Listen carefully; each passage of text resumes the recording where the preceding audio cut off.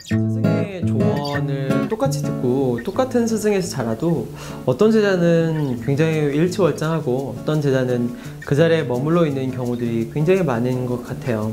이것은 분명 똑같은 가르침이라도 제자의 무언가가 달랐기 때문에 이런 결과의 차이점을 나왔거든요.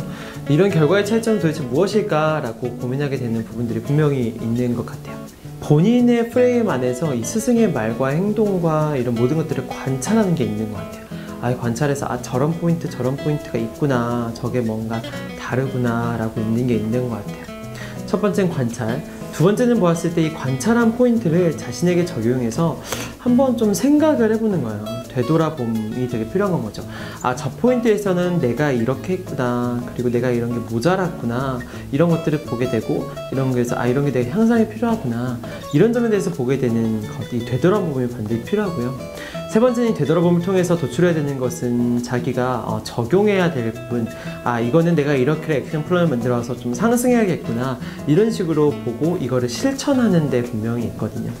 그래서 관찰, 그리고 돌아봄, 적용 이런 부분들이 있는 것 같아요. 사실은 이런 청출 오람 부분 같은 경우는 자신이 어, 느 역할들에 대해서 책임감을 가지고 이제 임할 수 있는 그런 역할들이 주어지는 게 굉장히 중요한 것 같습니다.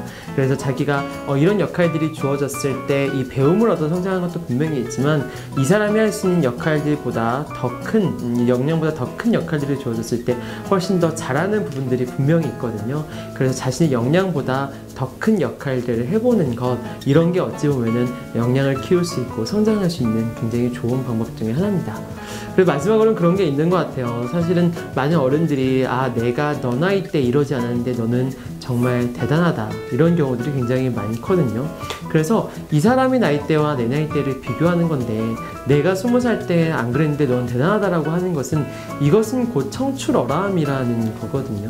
근데 이 말은 즉슨 이 스무 살에 이 사람이 만들어낸 결과물을 보고 얘기하는 게 아니라 이 사람의 이 스물 몇 살때 attitude, 배우려는 마음가짐, 배우려는 생각, 그리고 열심히 하는 자세 이런 것들이 있기 때문에 그때 나와 비교했을 때는 정말 대단하다라고 이야기를 하는 겁니다. 결국은 청출어람이라는 것은 결과적으로 만들어지는 게 아니라 과정적으로 만들어진다라고 생각을 해요. 결국은 스승에게서 배우려는 마음, 조언을 얻으려는 자세를 가지고 하나하나 해나갈 때 이 마음과 이 자세가 결국은 청출어람이 아닌가라고 생각을 합니다.